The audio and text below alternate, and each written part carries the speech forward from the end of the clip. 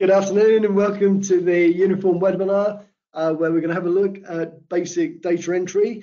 Um, so nothing too high powered for the afternoon. We're really just going to take you through uh, entering heats, inseminations, drying off, calvings to show you how you can do a, a batch sale. Um, Emma will be, be on the keyboard and taking you through it. And then hopefully what we can do is just show you some tips and tricks, hopefully to speed up data entry we have the question thing there. If you could type in questions, uh, please do.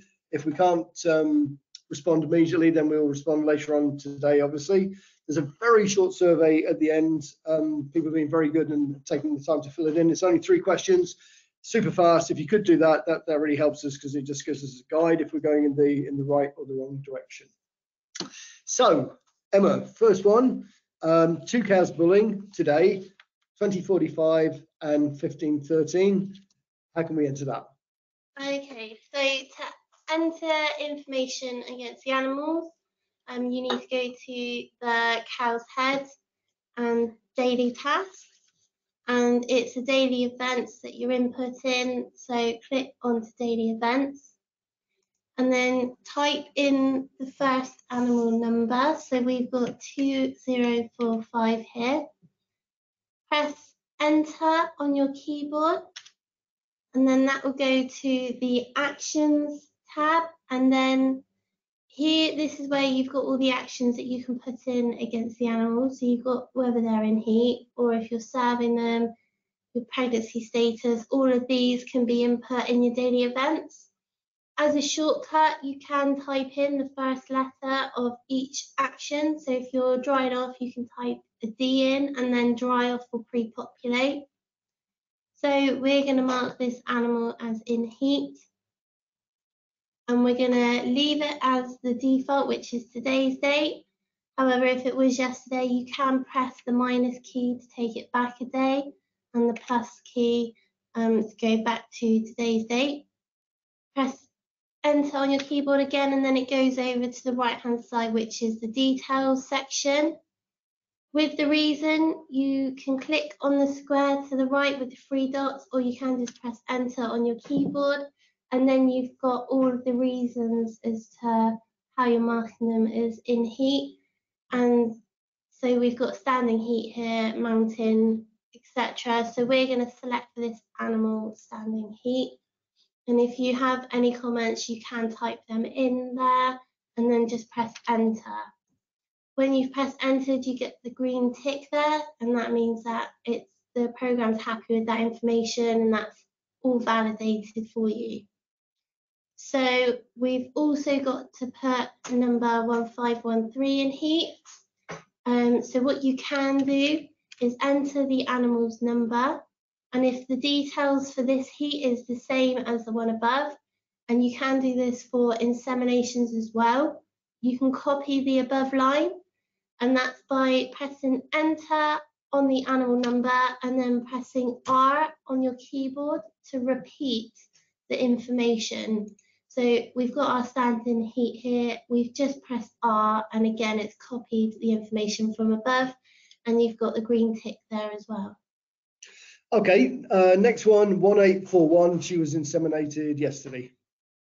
Okay, so we're going to put an insemination in on 1841 press enter on your keypad and then we're going to press S for serving and we're going to press the minus key to roll the day back to yesterday.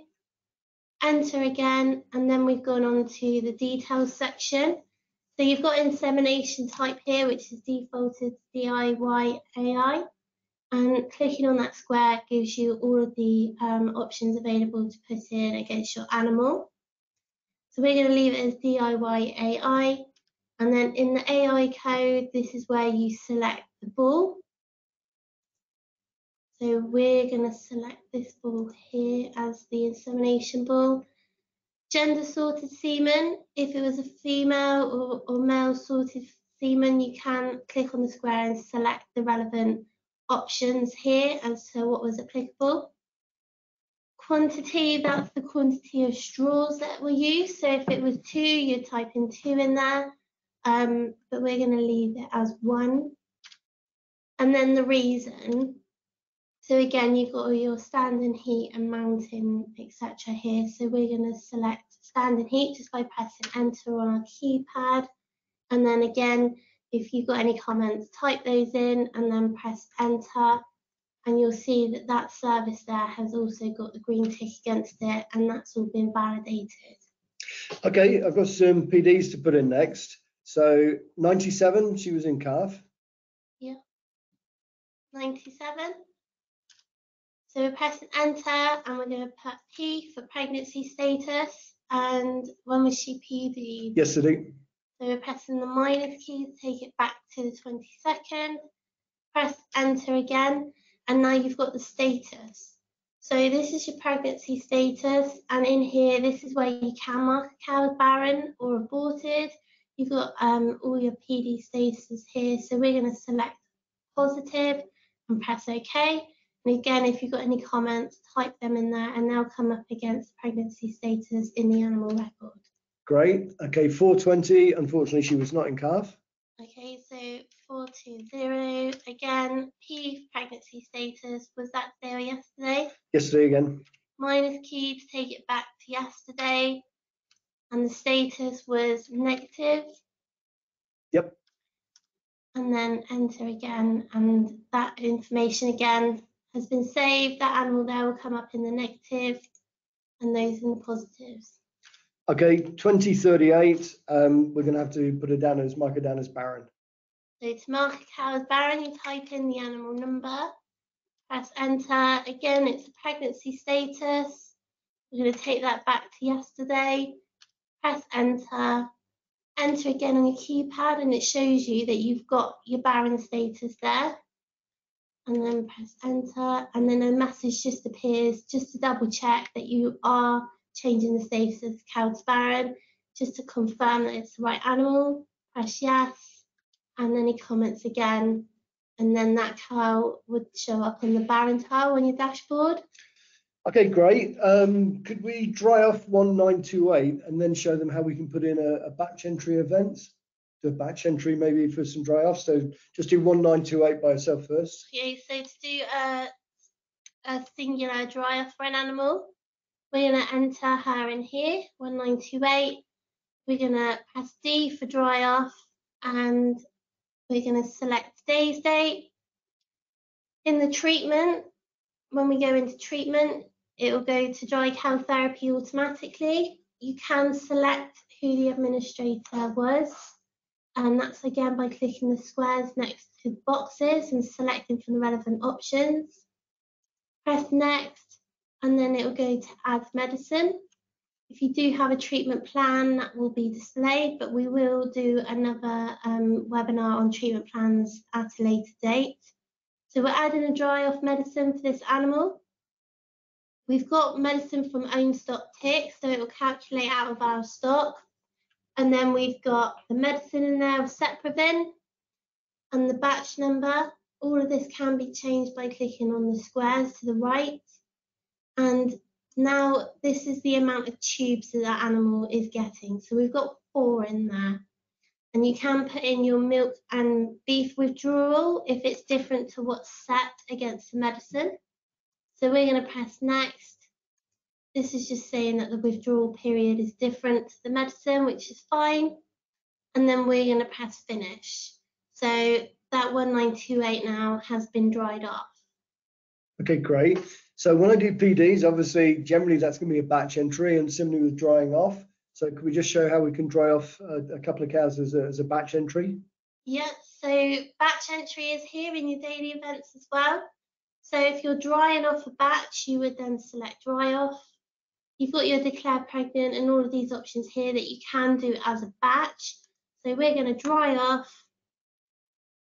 And we've got these animals here that are due to dry off. So we've only got one at the moment. Okay, but 95 we've dried off early.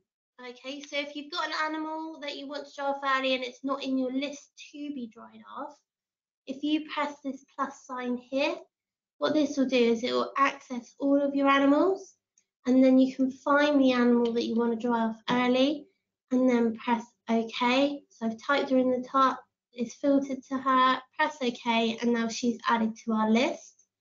And then we're going to press next. We've got the dry off date there and the dry off treatment is ticked. Press next again and this screen is what we were in earlier when we were putting it on against that individual animal. We've got the treatment of dry cow therapy. Again, you can select administrator and then add medicine. So we've got it all ticked like we had before, but here you've got the amount per animal as four. And then because we've got two animals selected, that's calculated as eight per group. So then we'll press next. And again, this is just telling me that the withdrawal periods are shorter than what's against medicine. That's fine. Press finish. And those two animals, their drives have been inserted, their treatments have been inserted, and their medicines. Okay, super. Um, let's calve cow number 50. So number 50, we're going to calve, so I'm pressing C for calving. You've got all of the um, historic events on the animals at the bottom. Having. What you can also do, um, if you've come across the incorrect animal and you've got partway through, you can press escape and it will take that line out before you finish. Um, and typing in animal 50, it's expected calving, um, that's the next event on the list.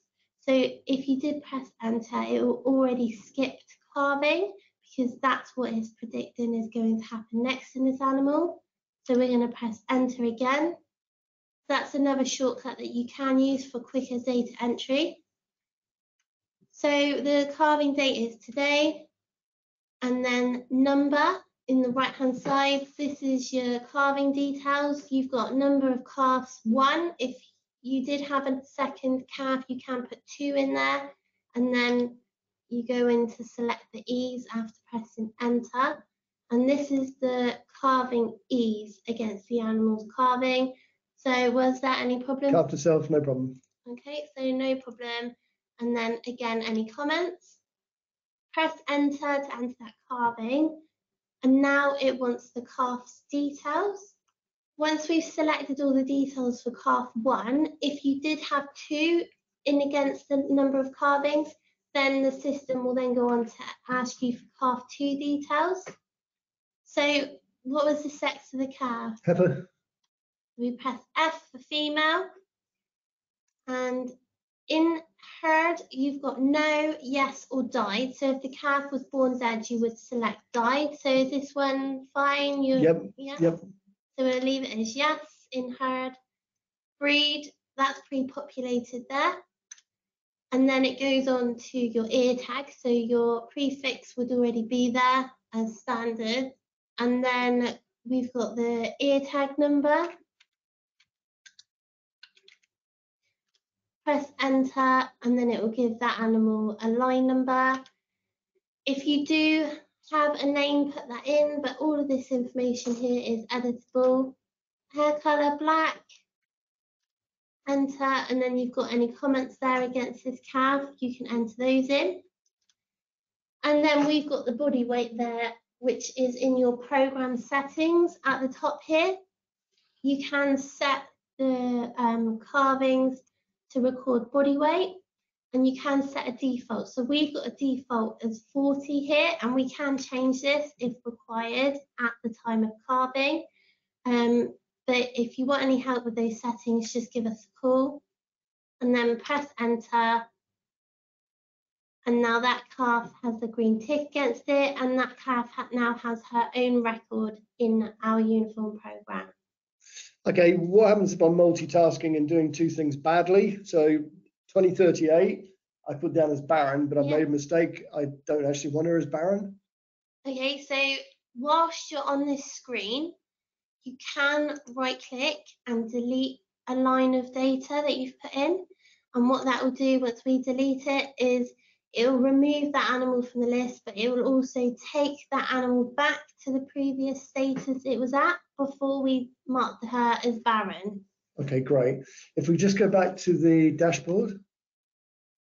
Okay, we can see there, there's 13 calves due to be sold. Yeah. Um, what's a quick way, let's say that we sold those animals today? All of those? Yeah. Okay, so if we go to the cow's head, daily tasks, daily events, we're going to go into batch entry and you've got purchase sale here. So click on that and it's a sale that we're entering. It's a new sale and we're going to filter the animal types by calves to sell. So we don't want to bring back any dairy cows. We just want the calves to sell to be brought back. So there was 13 on our dashboard. We're going to press next. So these are all the animals that have matched the filter that we've put in. To select them individually, if there was only a couple you wanted to sell, you can tick the ones that you are selling. Or you can do a reverse selection and that will tick all of them here. So at the top here, it's saying we've got 13 animals selected. We'll press next and then we've got the sale date. So we're going to sell them today. Yep. And then we'll select a reason as to why they're being sold. And you can add a new reason in here if the reasons in the list aren't relevant. So we'll press OK. If you wanted to enter total income and weight and any comments, you can just type all those into those fields. And then next to supplier, we need to select who's buying the animals. So let's just create another one and we say uh, Sedgemoor. Okay, so we've got a new supplier buying the animals that we haven't got on our program. So we're going to add in a new supplier by pressing the plus button. And we're going to type them in here. And then what you do need to do is just copy that name of the supplier and just paste it in the herd number field. And then on the right hand side, you need to tick how this supplier is relevant, whether it's relevant to your cattle and semen or medicines as well, because that will affect where they appear in the program. So if I just tick the cattle for the supplier, I wouldn't expect them to be displayed when I put on a purchase of medicines or a purchase of semen because those boxes aren't selected. So I'm going to press OK for this one and we're going to sell those 13 animals to Sedgemoor Market and then press finish. So now we have 13 sales that have been processed. And then if we go back to our dashboard, hopefully, there we go, they've all been sold. So now that calves to sell tile on our dashboard has been removed as there are no animals under that animal type. Okay, hopefully that was uh, that was helpful. Um, if you have any questions, you can type them into um, yeah the little chat box, and we will come back to you later on today. Um, we don't want to make these too long because we're conscious, obviously, how, how important time-wise it's for you guys. Uh, next week we'll be doing a basic reporting one. So if you have anybody maybe that hasn't used the system that just wants to see basic reports, that's what we're trying to do at the moment. That will be covered next week. Also on the, the following one will be the 7th of October. We'll be doing a basic one just on health and treatments and medicines. Nothing to do with analysis, just how they can create a new medicine, they can purchase a medicine, and how they can use a medicine. So hopefully you'll find that helpful. Uh, there will be a movie available tomorrow that will be sent out in the afternoon via email. So again, you can circulate that to anybody. Any questions, uh, please give us a call. The very short survey. If you could just take the time to, to fill that out, we'd really appreciate it. And we hope that uh, you found that helpful.